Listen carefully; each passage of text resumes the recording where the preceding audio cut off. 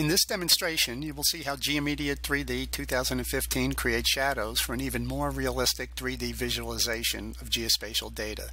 Once we have the location, the sun is turned on, and then the shadows are enabled, along with the date-time slider. Select the day of the year, and you're ready to adjust the time of day using the slider. GeoMedia 3D dynamically casts the shadow. Using one of the newly added navigation aids, we can fly around our point of interest in a circle. And while we're doing that, we'll dynamically adjust the shadow to give you an idea of the performance.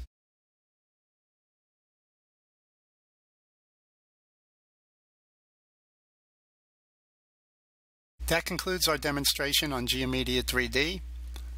Thank you and good night.